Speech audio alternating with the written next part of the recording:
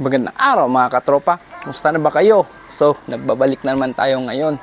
Ngayon, pag-usapan natin ay Bawaw Wow.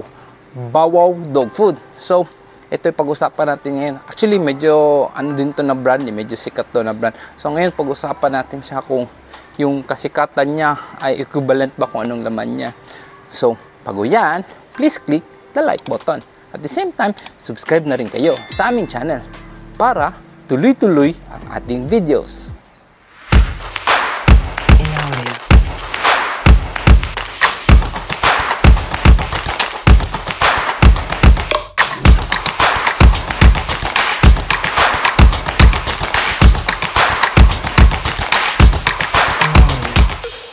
So ngayon mga katropa, change of scenic view tayo. Dito tayo ngayon.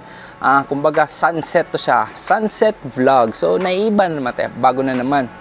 Tapos mga katropa, ah, shout out ako sa isang subscriber at katropa natin na si Josan Bello. Actually, ah, napansin niya talaga na hindi kami nag-upload ah, for the past few days. Medyo na busy lang din kasi at yun, nag-PM siya sa amin na kung kailan yung upload. Sir, thank you so much, katropa. Thank you. Shout out. Shout out galing sa amin. At um, hindi namin kalim- nakakalimutan mag-upload. Yun nga lang, naging busy kami for the past few days. But ngayon, andito na tayo. At pag-usapan natin ngayon ang Bawaw Dog Food.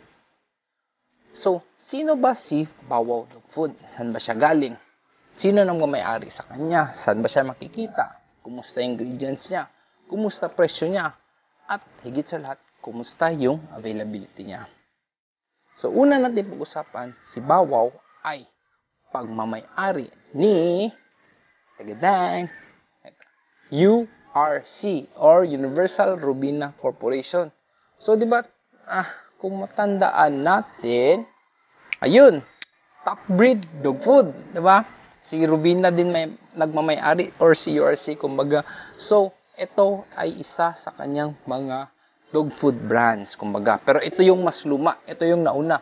Before top breed, ito na muna si Bawaw Dog Food. So, tapos at the same time, ito ay gawang Pilipinas. Ito, bayang magiliw. Proudly Philippine, Filipino made dog food. So, dito yan minamanufacture sa atin. So, ngayon, silipin natin, kumusta ba? So, so ngayon, mga katropa, pag-usapan natin ang bawaw dog food. Yung ingredients niya, silipin natin. Si bawaw ay may tatlo. Isang puppy, dalawang adult. So, ano to yung dalawang adult? Isang regular niya, at saka yung blue. Or, which is yung rich in fiber niya, baga.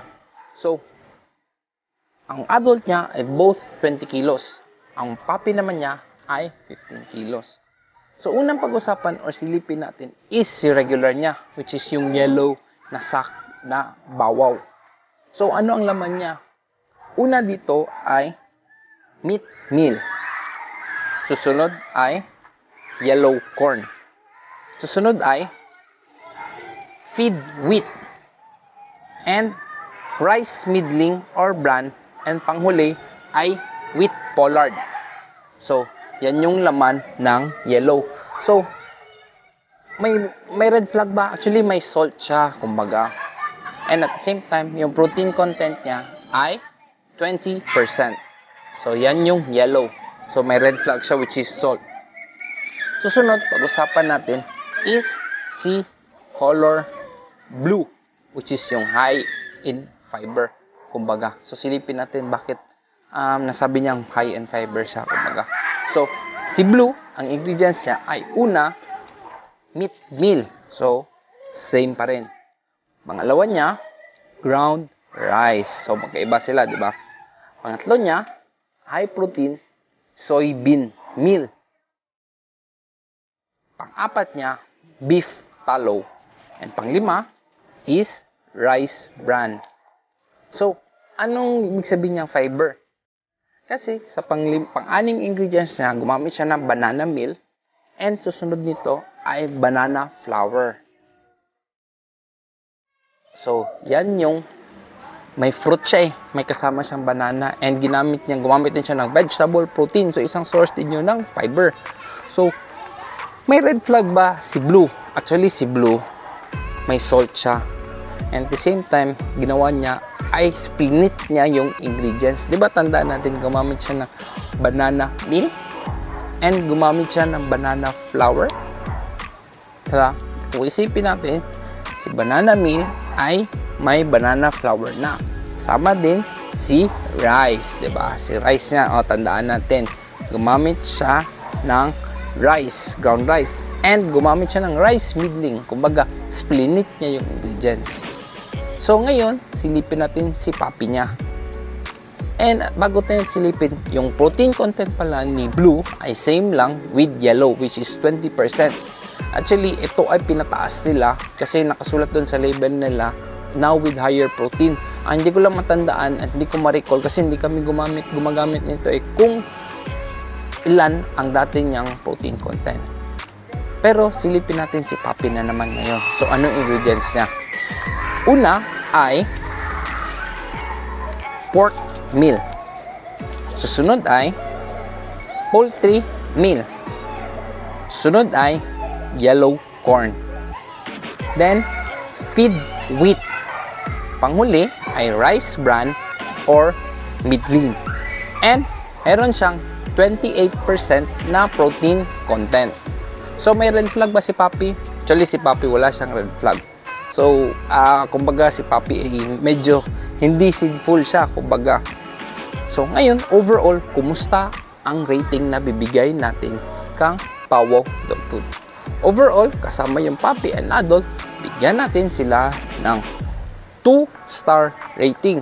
Kasi tandaan natin si adult, actually si adult talaga niya nag, nag ano dito, uh, nagpahila sa kanya pababa kasi tandaan natin nag-split na siya ng ingredients, may salt pa siya. So, 'di ba? So, yun, pag-usapan naman natin yung presyo ni Bawaw. Yung presyo ni Bawaw, ba, Bawaw, yung adult niya na color blue ay 1,180. Diyan tumatakbo ang presyo niya. 1,180 minus 50 pesos tayo or plus 50 pesos tayo. Yung adult naman niya ay yung yellow, kumbaga, or yung regular, which is 20 kilos pa din, ay 1,280. And 20 kilos siya. So, plus minus 50 tayo, then naglalaro yung presyo ni adult na bawaw. And yung puppy niya ay nasa 1,260. Pero, pero, pero, ito ay nasa 15 kilos. So, kung per kilo basis natin, kumusta ang presyo ni Babaw? Currently, ang presyo ng adult niya ay tumatakbo sa mga 75 to 80 pesos sa market which is agrivet kung saan namin ito nakuha. Yung puppy naman niya ay nasa mga 90 to 100 pesos. So, kumusta ang presyo ni Bawaw? Kung ibabang, ibabangga natin sa ingredients niya. Yung current price si Bawaw ay medyo mataas na siya actually. Kasi umabot na siya ng mga yung puppy niya, umabot na ng almost 100 yung adult naman is nasa 80 so medyo at par lang siya. Pero not uh, kumbaga ingredients niya ay hindi naman din overpriced kumbaga kung babangga natin. So with the ingredients wise, up uh, price wise, bigyan natin si Bawaw ng 4 star rating. So ngayon mga katropa, pag-usapan naman natin yung pellet size si Bawaw. Kumusta ba? So ito yung pellet size niya. Yung puppy niya, tsaka yung adult niya. Anyway, flash ko naman ito in a while uh, para makita nyo ng malapitan. So, una pag-usapan is yung puppy. Kumusta ba yung puppy? Yung puppy niya ay okay lang. Kahit small or large breed na gumamit nito kay bawaw ng puppy, ay pasok tayo. So, wala tayong problema. Kumusta naman yung adult niya? Yung adult niya, ito nga lang. Pag large breed, okay, very good to siya. Malaki. Ayun, malaki for a large breed. Kung ay, hindi siya malaki, sakto siya for a large breed. Kumusta siya for a small breed? small breed tulad ng mga Chihuahua, Shih Tzu, medyo malaki si Bawaw. Yung gray, yung baga, yung bilog niya, laki. So, kumbaga, uh, for a large, uh, small breed, uh, advice ko is palambutin natin, lagyan natin ng tubig bago natin papakain sa aso. Kasi medyo malaki siya eh. Baka mabulunan. So, with the pellet size, bigyan natin si Bawaw ng 3.5 star rating. Ngayon, pag-usapan natin yung availability ni Bawaw kung kumusta ba. So, di ba matandaan natin si Bawaw ay pagmamayari ni URC or Universal Robina Corporation. di ba, siya nagmamayari ng top breed. So, kumusta exposure niya? Same lang ba sila? Actually, halos same lang. Kasi si Bawaw makikita natin sa grocery.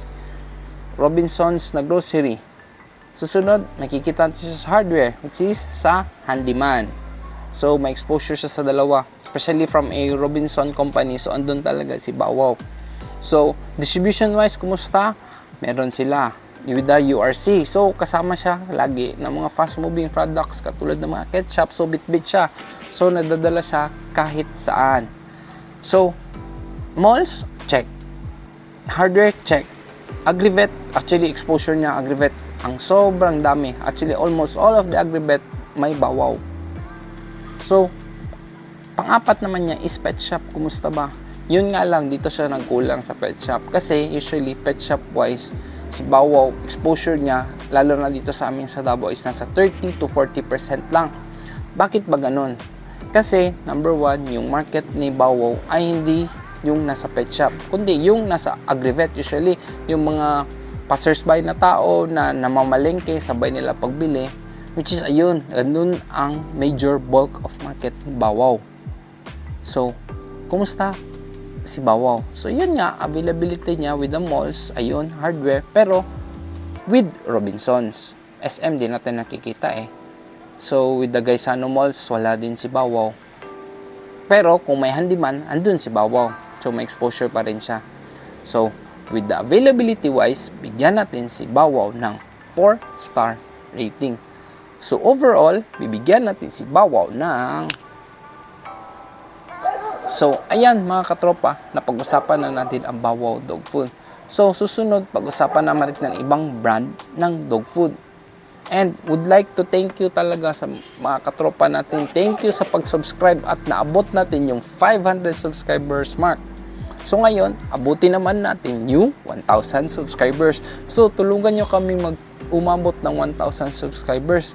So ngayon, ikaw, pag nanonood ka, oo, ikaw, ikaw, ikaw, pag nanonood ka, please subscribe na lang sa aming channel para at least madagdagan yung subscribers natin.